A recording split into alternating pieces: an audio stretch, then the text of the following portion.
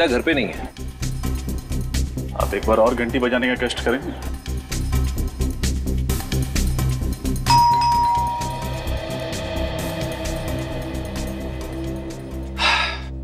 Sir लगता है रश्मि घर पे है नहीं।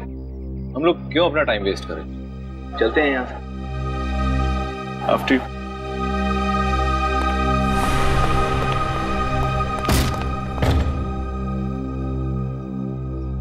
बढ़ा दिया काम इसने भी। चल भाई सूरज यहाँ तेरी नहीं चलेगी।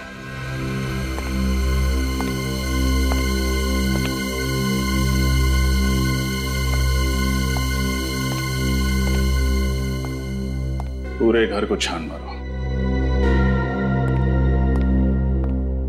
यस सर आज सारे सबूत अच्छे से मिटा दूँगा। देखता हूँ कैसे करते हैं केस सॉल्व।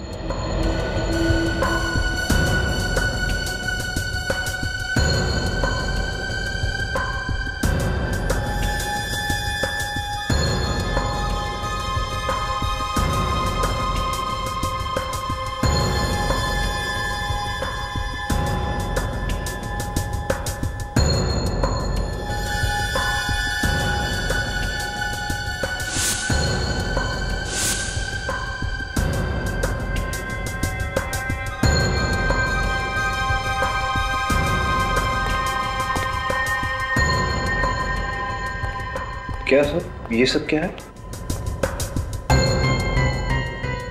फोटोग्राफ्स सर लगता है रश्मि घर से भागने से पहले ये फोटोग्राफ्स और ये कागजात जलाकर डस्टबिन में फेंक गई। लेकिन क्यों? रश्मि को इन चीज़ों से ऐसा क्या खतरा हो सकता था? एक सेकेंड कुछ कागज़ के टुकड़े ऐसे भी हैं जो पूरी तरह जले नहीं हैं।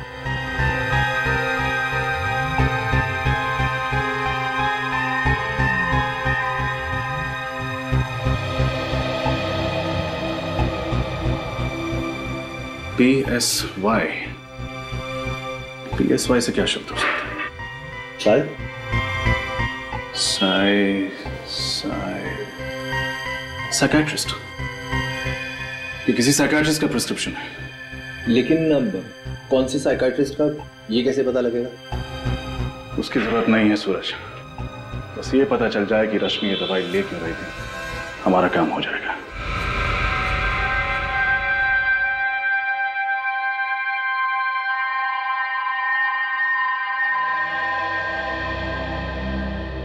ये ड्रग तो स्प्लिट पर्सनालिटी डिसऑर्डर के पेशेंट्स को दी जाती है। स्प्लिट पर्सनालिटी डिसऑर्डर जी हाँ ये ऐसे पेशेंट्स होते हैं जिनमें दो पर्सनालिटीज होती है। एक जो अपनी खुद की होती है और दूसरी जो अपनी ओरिजिनल पर्सनालिटी से बिल्कुल अलग होती है। यूँ समझो कि एक ही शख्स के अंदर दो इंसान जी रहे हो। हो सकता है कभी कभी दो से ज़्यादा भी इंसान जी रहे हो। डॉक्टर जब ऐसे पेशेंट्स अपनी पर्सनालिटी बदलते हैं तो क्या करते हैं? ये कुछ भी कर सकते हैं मगर जब वो अपनी ओरिजिनल पर्सनालिटी में वापस आते हैं तो उन्हें याद ही नहीं रहता कि उन्होंने किया क्या था। मतलब जब पेशेंट पर्सनालिटी ए में होता है तो उसे ये याद नहीं रहता कि पर्सनालिटी बी में उसने क्या किया था। और जब वो पर्सनालिटी बी में होता है तो उसे ये याद नहीं रहता कि पर्सनालिटी ए में उसने क्या किया था। एग्जैक्टली सर यानी जब रश्मि ने बकुल का खून किया तब वो रश्मि नहीं थी। कोई और शख्सियत थी। तभी तो जब हमने भी पूछा तो हमें कुछ बताया नहीं। एकदम नॉर्मल बिहेव कर रही थी। क्योंकि उसे याद ही नहीं होगा कि उसने बकुल का खून किया। लेकिन सर डॉक्टर सालुंके का कहना है कि बकुल को और उस नौकर को किसी आदमी ने मारा था। ले, लेकिन सर हमें ये बात भी तो अच्छे से पता है कि उस नौकर का खून एक औरत ने किया है। अब ये कैसे पॉसिबल है? हो सकता है क्योंकि जब एक स्प्लिट पर्सनालिटी डिसऑर्डर से पीड़ित औरत एक आदमी का रूप लेती है तो वो एक आदमी की तरह बिहेव करती है। मर्दाना चाल मर्दाना आवाज़ मर्दाना ताकत उसमें अपने आप आ जाता है। मतलब डॉक्टर सालों के सही कह रहे थे। एक और बात सर अगर उस औरत ने एक बार खून किया है तो वो ज़रूर दोबारा हमला कर सकती है। इससे पहले कि रश्मि किसी और को अपना अगला शिकार बनाए हमें उस तक पहुँचना होगा। श्रेया काम करो। उसका मोबाइल ट्रैक करो और सारे बैंक को इन्फॉर्म कर दो। अगर ये रश्मि अपना क्रेडिट कार्ड स्वाइप करती है तो फ़ौरन हमें खबर करते हैं वो अपना रूप बदल सकती है सेल नंबर बदल सकती है। क्रेडिट कार्ड तो नहीं बदलेगी। विश्वास नहीं होता कि बकुल जी के खून में रश्मि का हाथ हो सकता और सर हैरानी की बात तो यह है कि सालुंके सर अब भी यही मान रहे हैं। कि किसी आदमी ने ही बकुल जी और उस नौकर का खून किया। निखिल उस साइकेट्रिस्ट ने दया सर को बताया था कि स्प्लिट पर्सनालिटी के लोग चाहे वो कोई औरत हो या बच्चा अगर दूसरा रूप धारण करते हैं तो वो उसी की तरह बर्ताव करने लगते हैं। जैसे कोई स्प्लिट पर्सनालिटी का पेशेंट कोई बच्चा या फिर औरत किसी आदमी का रूप धारण कर ले तो उसके अंदर आदमी जैसी ताकत आ जाती है। यानी जब रश्मि ने बकुल जी का खून किया उसकी पर्सनैलिटी ने एक आदमी का रूप ले लिया। और उसके नाजुक से शरीर में एक मर्द वाली ताकत आ गई। और जब अपने नॉर्मल रूप में आई यानी कि रश्मि की पर्सनालिटी में आई तो उसे भी नहीं याद था कि उसने आदमी बनकर बकुल जी का खून कर दिया फिर तो रश्मि कभी भी अपना रूप बदल सकती। है और अगर उसने ऐसा किया तो उसके आसपास वाले लोगों को जान का खतरा होगा। हाँ अमरीत इसीलिए तो हम उस कपड़े की दुकान पे जा रहे हैं जहाँ रश्मि ने अपना कार्ड स्वाइप किया। शायद दुकानदार कुछ बता दे कि रश्मि अकेली आई थी या फिर किसी के साथ। एक्सक्यूज मी कहिए सर क्या दिखाऊँ? वेस्टर्न या इंडियन? हमारे स्टोर में हर वैरायटीज के कपड़े मिलेंगे। हम यहाँ कुछ खरीदने नहीं आए तो फिर? हम लोग सी। सीआईडी से सीआईडी क्या बात है सर? एक औरत के बारे में कुछ पूछताछ करनी थी। सर कौन औरत? उनका नाम है रश्मि और ये उनका क्रेडिट कार्ड नंबर है। जरा चेक करके बताइए कि यहाँ से क्या खरीदने आई थी और किसके साथ आई जी सर एक मिनट। प्लीज़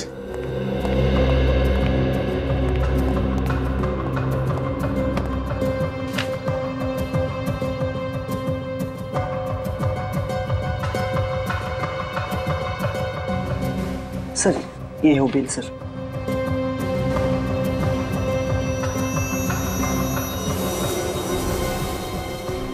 ये क्या? जेंट शर्ट रश्मि अपने लिए जेंट शर्ट क्यों खरीदेगी? कोई साथ में था क्या उसके? नहीं सर। सर हो सकता है रश्मि कोई नई चाल चलने वाली हो। पुनीत ये भी तो हो सकता है कि उसे स्प्लिट पर्सनालिटी का दौरा पड़ा हो और उसने एक आदमी का रूप धारण कर लिया। हाँ सर। इसीलिए उसने ये जेंट शर्ट खरीदी। सर सर एक बात बोलो? बोलो। सर वो लड़की थोड़ी खिसकी हुई थी सर। वो बोल कुछ रही थी और कर कुछ रही थी सर। सर उसे क्या चाहिए था मैं समझ ही नहीं पाया। तुमने उस लड़की का चेहरा तो देखा ना? हाँ सर एकदम ठीक से। पहचान जाओगे? हाँ सर। ये है वो लड़की? नहीं सर। ये नहीं थी। ध्यान से देखो। यही होगी। नहीं सर मैं ठीक बोल रहा हूँ सर। ये वो नहीं थी। उस लड़की का चेहरा सर मैं भूल ही नहीं सकता। इन तीनों में से कोई थी? नहीं सर इन तीनों में से कोई नहीं थी। सर सर इसका मतलब खूनी कोई और अनजान औरत है। हो सकता है निखिल इस आदमी को अपने साथ ले लो। उस औरत का स्केच बनवाते हैं।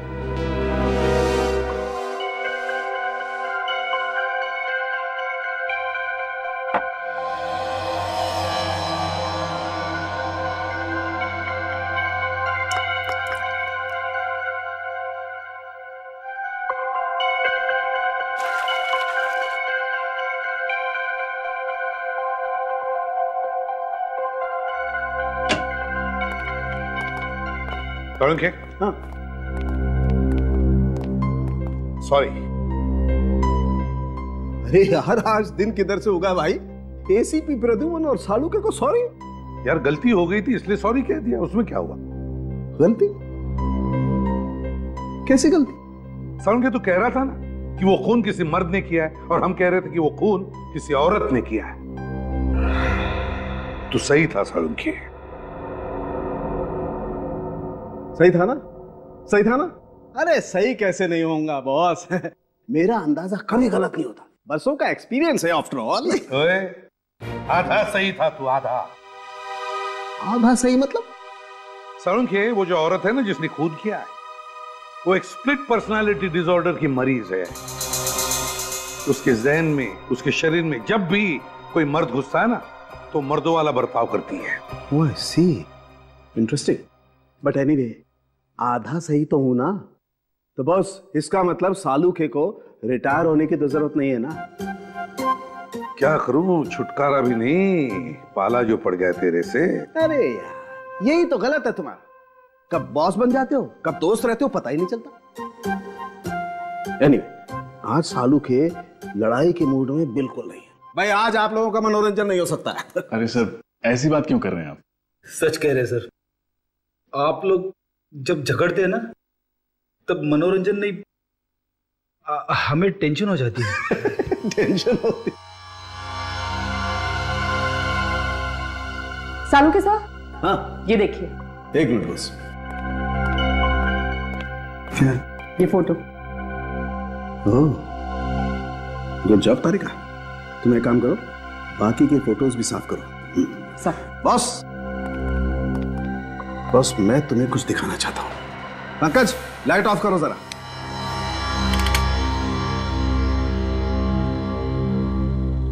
बॉस तुम जले हुए कागजों से तो कुछ पता चला नहीं। देखते हैं इस फ़ोटो से क्या पता चलता है। ये तो स्कूल यूनिफॉर्म पहनी हुई किसी बच्ची की फ़ोटो है। हाँ दस बारह साल की उम्र लगती है। और लगता है उस लड़की के साथ कोई लड़का भी खड़ा है। सर आप कैसे पता चलेगा कि ये लड़की कौन है? और उसके साथ ये लड़का कौन है? अभी पता लगेगा। रश्मि? रश्मि की बचपन की फ़ोटो आई है। ये लेकिन सर कोई अपने बचपन की फ़ोटोज़ क्यों जलाएगा? लोग ये सब तभी करते हैं जब वो कुछ छुपाना चाहते हैं। हाँ सर मतलब रश्मि के साथ बचपन में कुछ ऐसी बात हुई है जिसे वो छुपाना चाहती है? ज़रूर फ्रेडी। ऐसा ही हुआ होगा। लेकिन लगता है रश्मि उसके फ़ोटो में वो जो लड़का खड़ा है ना उसकी तस्वीर मिटाना चाहती है। Yes sir. अब इस लड़के का पता लगाना पड़ेगा। मगर कैसे सर? फ़ोटो में तो कुछ दिख रहा ही नहीं है। क्यों नहीं दिख रहा है? देखो अभी। देखो उस बैच पर क्या लिखा है। D A G public school D A G public school hello Shashi? अच्छा सुनो। वो 1995 का जो बैच था ना, उसका एडमिशन फॉर्म मुझे चाहिए। हाँ रश्मि नाम की स्टूडेंट का। जी जी। Fifth standard. Okay okay. ठीक है। सॉरी, आप लोगों को दो मिनट और वेट करना पड़ेगा। आप लोग चाय या कॉफ़ी कुछ लेंगे? जी नहीं अब थैंक्स मैडम ये फ़ाइल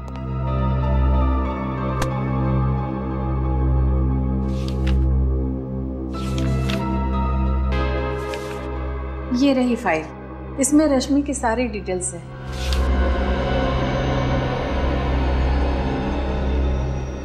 हम्म, लेकिन इस फ़ाइल से हमें खास जानकारी नहीं मिलने वाली। कुछ और बता सकती हैं आप रश्मि के बारे में? जी नहीं इस बारे में मुझे और कुछ पता नहीं। एक मिनट सर मुझे इस लड़की का चेहरा देख के कुछ याद आ रहा है। इसका एक बड़ा भाई था जो फुटबॉल बहुत अच्छी खेलता था। वो हमारे स्कूल की टीम में था। आपको पूरा यकीन है? जी सर।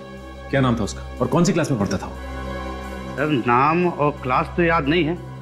हाँ सर वो इससे दो तीन साल बड़ा था सर। दो तीन साल बड़ा था। ये 1995 की सातवीं और आठवीं क्लास की रिकॉर्ड फ़ाइल लेके आइए प्लीज़ वो होट थोड़ा पतला होगा। सर, ये रश्मि कहीं फेस बदल के तो नहीं गई थी गारमेंट शॉप में? इसी वजह से शॉपकीपर उसे पहचान नहीं पा रहा है। हो सकता है अभिजीत। बिल्कुल हो सकता है। हाँ। पंकज? जी सर। ये नीता, निकिता और शिखा, तीनों को बुलाया ब्यूरो में। जी सर श्रेया उन्हें लेके आती होगी। गुड स्केच रेडी है सर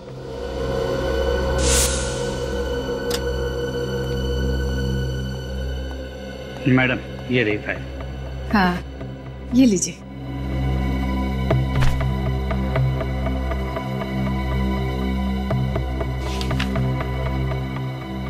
निखिल रश्मि के घर से जो फोटोग्राफ्स मिली थी बोला ना सॉरी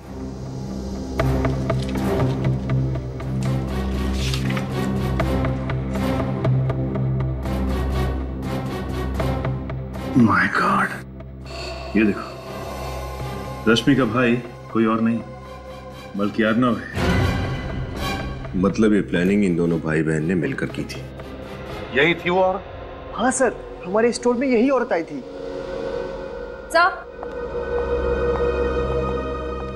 आइए। आइए। स्केच को अच्छी तरह से देखिए गौर से देखिए। और बताइए कि आप जानते हैं इसे?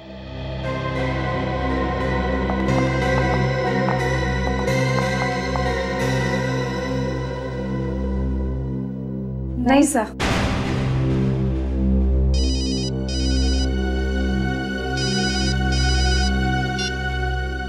हाँ सचिन। सर ये अर्नव और रश्मि दोनों भाई बहन हैं। माय गॉड तो ये बात है। और ये सारा का सारा खेल। इन दोनों ने मिलके खेला था। गुड वर्क क्या हुआ सर? अभिजीत।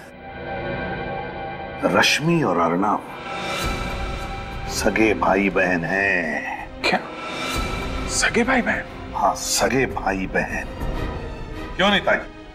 आपको तो पता था ना कि रश्मि और अर्णव सगे भाई बहन नहीं सर मुझे बस इतना पता था कि रश्मि बकुल की सेक्रेटरी है। वो दोनों भाई बहन है ऐसा तो मुझे कुछ नहीं पता। और शिखा जी आप? आपको भी नहीं मालूम कि रश्मि अर्णव की बहन है?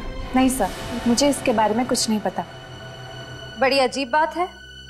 आप तो अर्नव की मंगेतर है ना? और आपको ही नहीं पता। सर अर्णव ने मुझे इसके बारे में कुछ भी नहीं बताया था। ठीक है। आप लोग जा सकती हैं।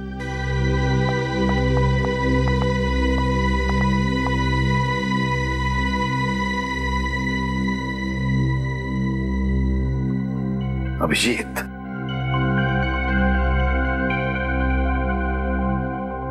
अभिजीत तुम कह रहे थे ना? कि औरत भेस बदल कर भी आई होगी। कुछ दिमाग में आ रहा है। कुछ दिमाग में आ रहा है। श्रेया अर्णव की फोटोग्राफ कंप्यूटर में निकालो। सब ये रहा अर्णव का चेहरा। अब श्रेया अर्णव के इस चेहरे पर स्केच में जो जो है वो सब बनाओ। ये ऐसे बाल ये कानों में बालियाँ और ये लिपस्टिक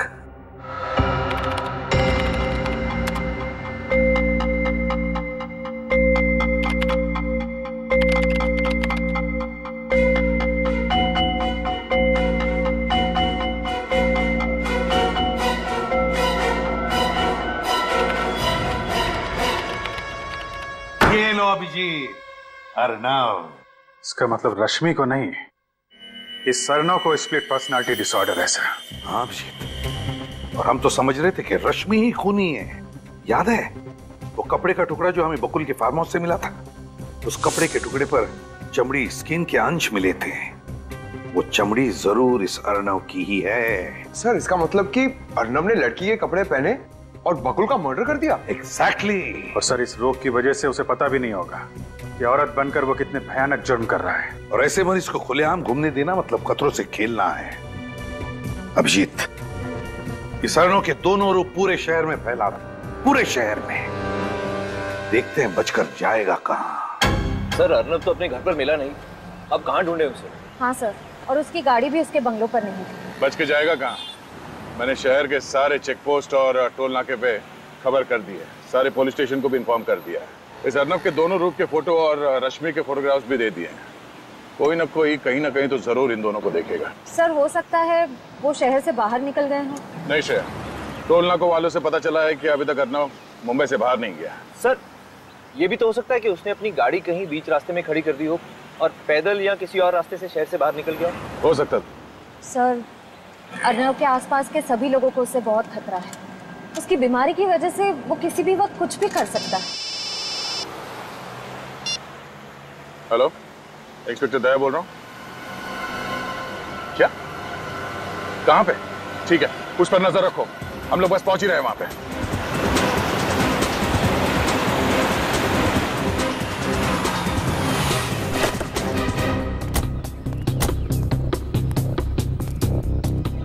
आपने फ़ोन किया था ना? आप सीआईडी से? हाँ। हाँ सर मैंने फ़ोन किया था। वो पोस्टर देखा था ना?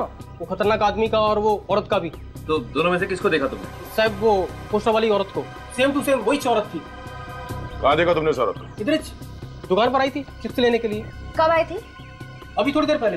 तभी तो फ़ोन किया मैं सबको किस तरह गई वो औरत? वो गाड़ी लेके आई थी? नहीं साहब वो चलते चलते उस गली से आई चिप्स लिया और वापस उसी गली में चली गई। चलते चलते इस गली में गई? पक्का यकीन है कि वो इसी गली में गायब हुई? एकदम पक्का साहब। चेहरा इतना अजीब था भूल कैसे सकता हूँ? सर उसी गली में तो बकुल का फार्म हाउस भी है। बकुल का farm house oh no let's go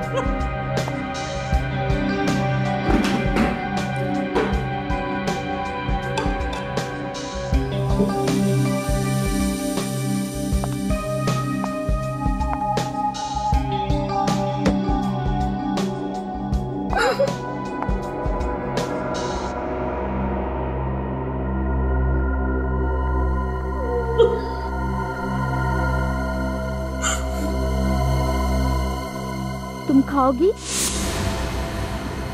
खाओ ना। मैं भी कितनी पगली हूँ। तुम्हारे मुँह पे तो पट्टी बंधी हुई है। तुम खा कैसे सकती हो? है ना? कोई बात नहीं। इसे मैं ही खा लेती हूँ। हाँ?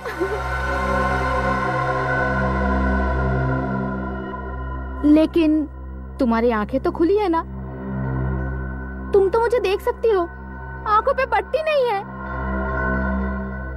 तो तुम मुझे खाता हुआ देखो हम्म?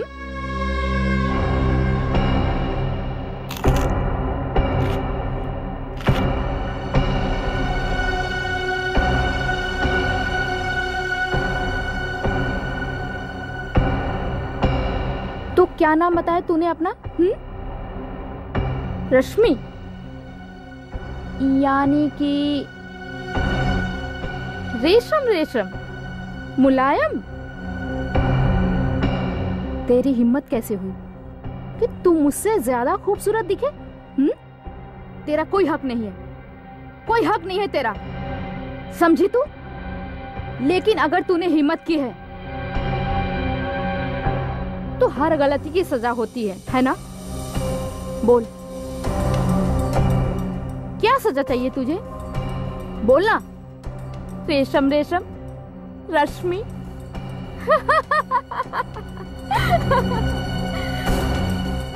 क्या हुआ? दर्द हो रहा है? हुँ? लेकिन सजा मिलने से पहले मैं तुझे अपना सुंदर नृत्य दिखाना चाहती हूँ। हो जाए?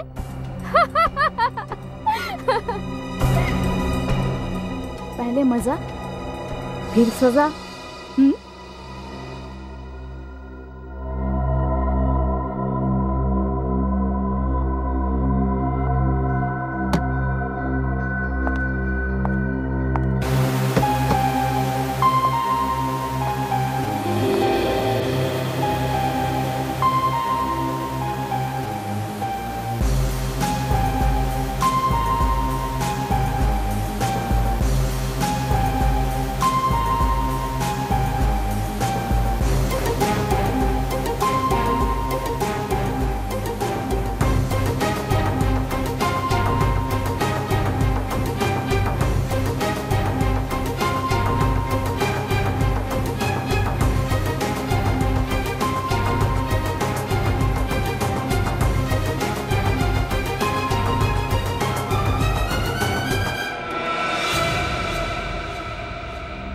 बहुत तरस आता है मुझे तेरे पर।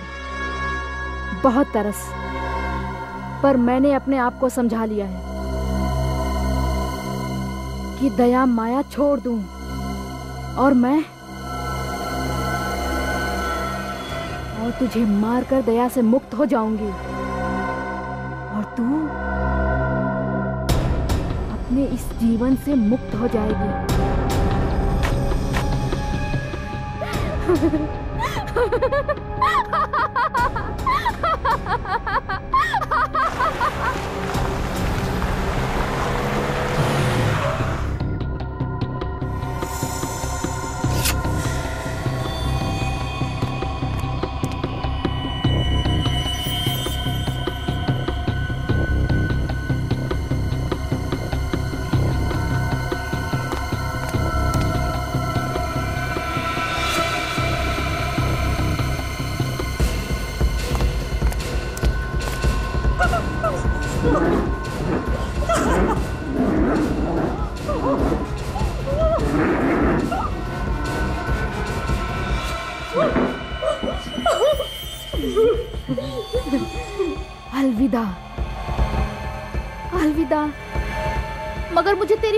याद आएगी।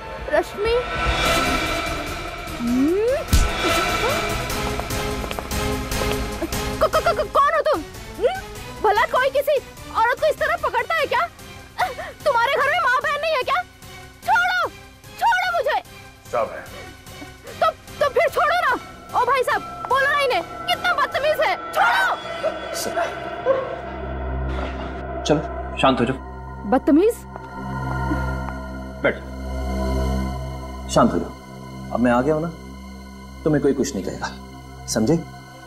हाँ समझी। बीमार रही है इस वक्त ये अपने आप को एक औरत समझ रहा है। खून किया है मगर जुर्म का एहसास नहीं से। अजीब बीमारी है सर। ऐसा लगता है जैसे एक ही शरीर में दो लोग हैं। हाँ। जब ये लड़की बन जाता है तो उसे याद नहीं रहता कि जब ये अर्नव था किसने क्या किया था। और जब अर्नव बन जाता है तो लड़की के रूप में क्या किया वो भूल जाता है। रश्मि तुमने हमसे ये बात क्यों छुपाई? कि अर्नव तुम्हारा भाई है? सब मैं डर गई थी। मुझे लगा कि अगर मैंने आपको भैया की बीमारी के बारे में बता दी तो आप इन्हें मुझसे अलग कर देंगे जेल में डाल देंगे फांसी दे देंगे। भला इसमें भैया की क्या गलती है? कि सब कुछ तो इनकी बीमारी की वजह से हुआ है। तुम ऐसे सोच भी कैसे सकती हो? तुम्हें पता नहीं था कि ये एक मानसिक रोगी और ऐसे पेशेंट्स को फांसी नहीं होती? और अगर आपने ये बात हमें पहले बता दी होती तो अर्नव का आज इलाज चल रहा होता किसी अच्छे साइकेट्रिस्ट के पास और आपकी ये हालत नहीं होती। सर मैंने भैया का इलाज करने की बहुत कोशिश की मगर ये मानने को तैयार ही नहीं कि ये बीमार है। ये बात तुम्हें समझना चाहिए रश्मि। एक स्प्लिट पर्सनालिटी डिसऑर्डर का पेशेंट तो यही कहेगा ना उसे तो कुछ याद ही नहीं रहता। सर इसी डर की वजह से मैं भैया से अलग रहने लगी। भैया कुछ भी कर सकते अभी आपने देखा ना अगर आप लोग वक्त पर नहीं आते तो तो ये तो मुझे मार ही डालते। मुझे नहीं पता था सर कि मेरे जाने के बाद भैया की हालत इतनी बिगड़ जाएगी। तुम चिंता मत करो। किसी अच्छे साइकाट्रिस्ट को दिखा के अर्नव का इलाज करवाएँगे। अर्नव बीमार है, बुरा नहीं। ठीक हो जाएगा। सूरज, एंबुलेंस बुलाओ।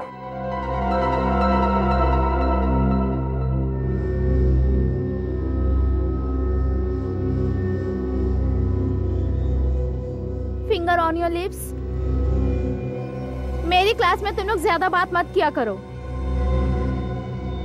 और मैं जो सिखा रही हूँ उसे ध्यान से देखो समझो। वरना एग्ज़ाम कैसे पास करोगे तुम लोग हाँ? A two plus B two is कमरे में कोई भी नहीं। मगर उसे लग रहा है कि कमरे में बहुत सारे स्टूडेंट्स हैं और वो और वो गड़बड़ कर रहे हैं। अर्नव की तबीयत बिगड़ती जा रही है। देखिए फ़िलहाल वो खुद को एक औरत यानी प्रोफेसर पायल समझ रहा है। डॉक्टर साहब मुझे पता है इस बीमारी को ठीक करना बहुत मुश्किल है। लेकिन वक्त चाहे जितना भी लगे आप अर्णव को ठीक करने की कोशिश कीजिए हम्म? और एक रिक्वेस्ट है। अर्णव को एक अलग से कमरे में रखिएगा। मेरे कहने का मतलब है सर आप चिंता ना करें। हम जानते हैं कि ऐसी स्थिति में वो औरों के लिए खतरा बन सकता है।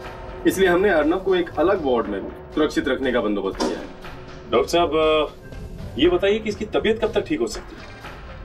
मेरा मतलब है ये अपनी पर्सनालिटी में कब तक वापस आ सकता है? बताना मुश्किल है। और मैं इसके ठीक होने की कोई गारंटी भी नहीं दे सकता। छह महीने साल भर दो साल। सब डिपेंड करता है कि वो ट्रीटमेंट के साथ कितना रिस्पॉन्ड करता है।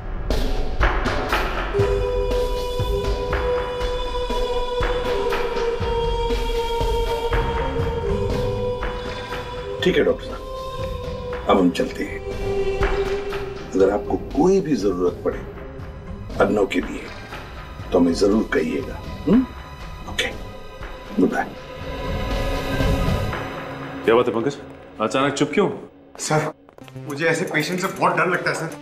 अगर वो यहाँ से भाग के मेरे घर आ गया तो? इस बात का डर तो है। हो सकता है ऐसा। अरे नहीं सर ऐसा मत बोलिए। सर। सर प्लीज़ आज मैं अपने घर पे नहीं सोऊँगा। मैं आपके घर पे आके सो जाऊँ। एक मिनट एक मिनट। हाँ। पंकज ओके हाँ पंकज एक सिंपल सा कैच नहीं पकड़ पाए तुम। अरे सर को बताना तो चाहिए था। मेरा ध्यान नहीं था और राइट हैंड में ये रुमाल था। मैं लेफ़्ट से कैसे कैच पकड़ूं? मैं राइट ही। हूँ फ़िलहाल वो खुद को एक औरत यानी कि प्रोफेसर पायल समझ रहा है।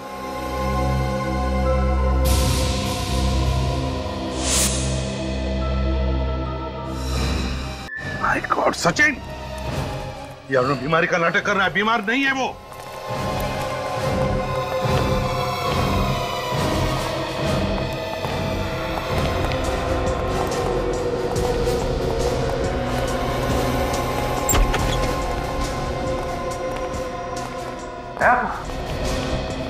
कहाँ गायब हो गया है क्या हुआ सर? कोई प्रॉब्लम है? प्रॉब्लम तो अब तुम्हें होगी। झूठ बोलने का नतीजा जानते हो? झूठ? मैंने क्या झूठ बोला है सर? ये अनजान बनने का नाटक बंद करो डॉक्टर देखिए सर पहले ये तो बताइए प्रॉब्लम क्या है? प्रॉब्लम ये है डॉक्टर कि तुमने ही बताया था ना कि अर्णव को स्प्लिट पर्सनालिटी डिसऑर्डर है। हाँ, ये सच है सर। आपने खुद देखा है उसे अजीबो गरीब बर्ताव करते हुए। नहीं वो बिल्कुल नॉर्मल है। नॉर्मल है? ये क्या कह रहे हैं आप लोग? नॉर्मल है वो। अब कहाँ है इस वक्त? बताओ जल्दी। सर उसे सेशन रूम में लेके गए। चलो ले चलो। हमें चलिए सर। अगर तुम प्रोफेसर की बात नहीं मानोगे ना तो प्रोफेसर तुम्हें पनिशमेंट देंगी समझे? सॉरी अर्णव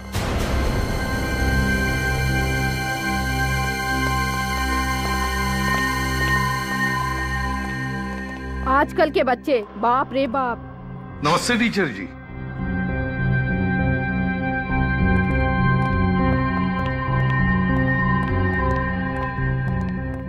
नमस्ते। क्या आपका बच्चा हमारे यहाँ स्टूडेंट है? जी नहीं। मैं इसे भी प्रद्युमन ये है इंस्पेक्टर सचिन श्रेया और पंकज। हम लोग सीआईडी से हैं। सीआईडी जी हाँ सीआईडी वैसे आपका नाम क्या है टीचर जी? पायल। पायल पायल। पायल तुम्हें पता है हम यहाँ किस लिए आए? हाँ मुझे पता है आप लोग यहाँ क्यों आए हैं। तब तो तुम ये भी जानती होगी कि तुमने क्या क्या किया है। हाँ हाँ मैंने ही बकुल को मारा है। मैंने उसका खून किया है। सब याद है। लेकिन सर एक बात समझ में नहीं आ रही कि अगर खून इन्होंने किया है तो बकुल के खून का इल्ज़ाम अर्णव ने अपने सर पे क्यों ले लिया? हाँ क्यों किया अर्णव ने ऐसा हाँ? अर्णव ये अर्णव कौन है? मैं अर्नव को नहीं जानती हूँ। ये सब छोड़िए पायल जी। ये बताइए कि बकुल का खून कैसे किया आपने? चाकू मारकर। और जब चाकू मारा तब बकुल कहाँ था? उसके फार्म हाउस पे। तो उसके फार्म हाउस पर तुम गई कैसे? पीछे के दरवाजे से। फार्म हाउस पर पहुँची कैसे? इतने दूर है वो फार्म हाउस गाड़ी से। गाड़ी का कलर रेड ब्लैक तो फार्म हाउस के अंदर जाते ही तुमने बकुल पर वार कर दिया? नहीं मैं वार करने वाली ही थी। लेकिन मुझे जब पता चला कि जिस आदमी को मैं मारने जा रही हूँ वो बकुल नहीं है। दरअसल कोई और आदमी है। तो मुझे टेंशन आ गया। और मैंने बस यही सोचा कि उस आदमी को बेहोश कर दूँ। कैसे बेहोश किया? डंडा मार के। तुम जानती थी उस अनजान आदमी को? नहीं। मैं उस आदमी का चेहरा नहीं देख पाई। कैसे देख पाती? अंधेरा जो था। और खून करने के बाद क्या किया तुमने? मैं खिड़की से भागी और बंगलों के पीछे सुनसान घर की छत पे वो कपड़ों से भरा बैग फेंक दिया मैंने। मतलब अपनी गाड़ी में नहीं गई तुम? नहीं। फिर तो आपकी गाड़ी वहीं पे खड़ी होनी चाहिए थी। लेकिन सर हमें तो वहाँ कोई कार नहीं मिली। चोरी हुई होगी वो तुम पता लगा ही लेंगे। बकुल को क्यों मारा तुमने हाँ? धोखेबाज था वो। कैसा धोखा दिया? पहले उसने नीतिका से शादी की। फिर बिना बताए उसने नीता से भी शादी कर ली। और नीता के सारे पैसे ऐड कर उसने मुझे अपने प्यार के चंगुल में फंसाया। और फिर उस राक्षस बकुल ने रश्मि के साथ चक्कर चलाना शुरू कर दिया। बकुल और रश्मि? हाँ उन दोनों का चक्कर था। लेकिन तुम्हें पता कैसे चला कि बकुल अपने फार्म हाउस पर है? हाँ उस मीटिंग के बारे में तो सिर्फ़ अर्णव को पता था। मैं उस पर नज़र रख रही थी। अर्णव पर? ये अर्णव कौन है? मैं अर्णव को नहीं जानती हूँ। मैं बकुल का पीछा कर रही थी। पायल जी अब रहती कहाँ है? मलाड। और काम क्या करती है? और फिर मैं प्रोफेसर हूँ मैथ प्रोफेसर। और माता पिता कहाँ है? माँ बाप बचपन में ही मर गए थे। मैं अनाथ हूँ। अब अब तो मैं मैं भी उनके पास चली जाऊँगी। आप लोग मुझे फांसी जो दे दोगे। अरे नहीं नहीं पायल जी। बकुल का खूनी तो मिल गया। मतलब? बकुल का खून तुमने नहीं किया है। अर्णव ने किया है अर्णव ने। कौन अर्णव ये अर्णव अर्णव क्या लगा रखा है? मैं किस अर्णव को नहीं जानती हूँ? पायल अर्णव वही है जिसे तुमने फार्म हाउस में बेहोश किया था। वो भी बकुल को मारने के लिए वहाँ पहुँचा था लेकिन तुम वहाँ पहुँच गई और उसी का फ़ायदा उठाकर उसने असली चाकू से उस पर वार किया। लेकिन उसने एक गलती की।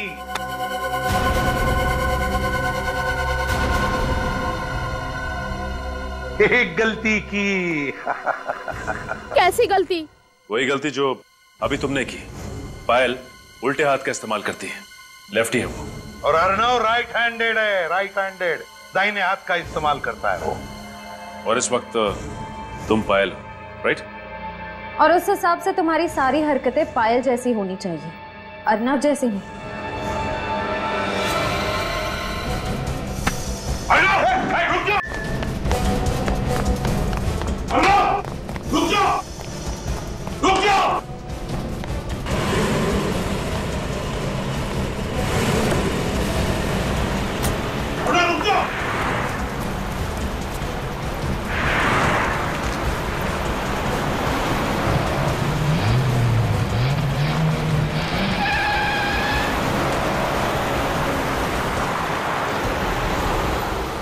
रही उस डंपर के आगे।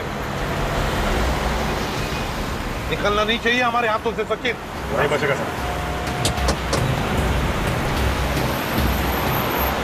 पलक झपकते ही हमारे आँखों के सामने से भाग गया सर ये बहुत चालाक है।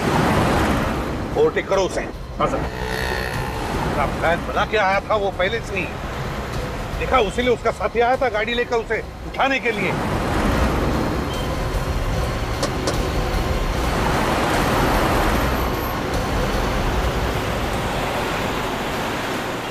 सीआईडी की गाड़ी पास में आ गई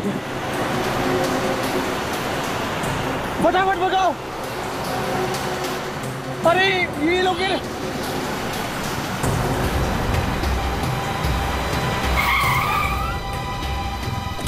अब क्या करें?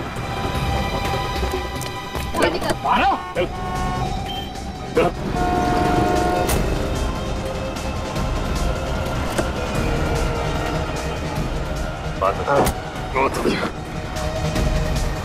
सर रश्मि हाँ रश्मि जी हमें तो पहले से ही शक था कि अर्णव का साथ तुम दे रही थी और तू बहुत कर ली तूने एक्टिंग अब अपनी एक्टिंग हमें दिखा अर्णव अपने स्प्लिट पर्सनालिटी डिसऑर्डर की एक्टिंग से तुमने साइकेट्रिस्ट को भी फंसा दिया वाह कहाँ से सीखी तुमने ये एक्टिंग कितनी भी एक्टिंग कर लो लेकिन तुम भूल गए कि हर नाटक पे पर्दा गिरता ही गिरता है।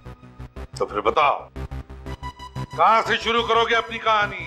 हाँ ये सच है कि मैंने स्प्लिट पर्सनालिटी डिसऑर्डर के पेशेंट होने का नाटक किया और बकुल का खून किया।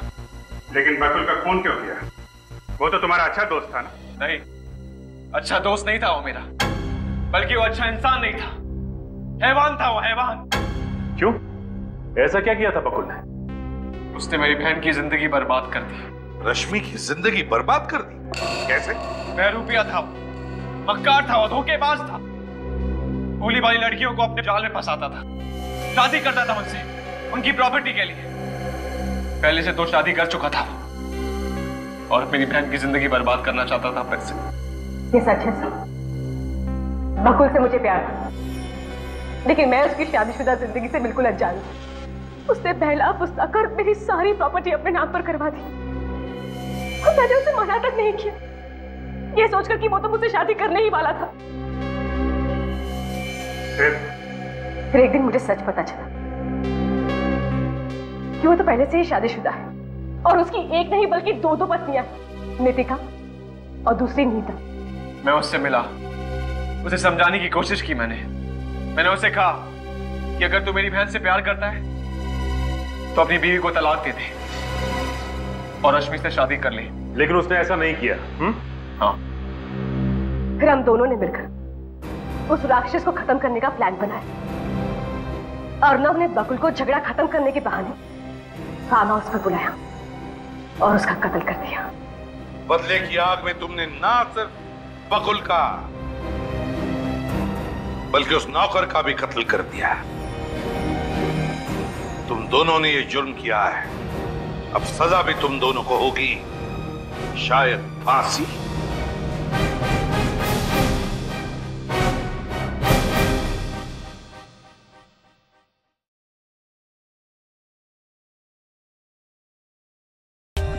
For more updates, subscribe to our channel, click the show links and enjoy watching the videos.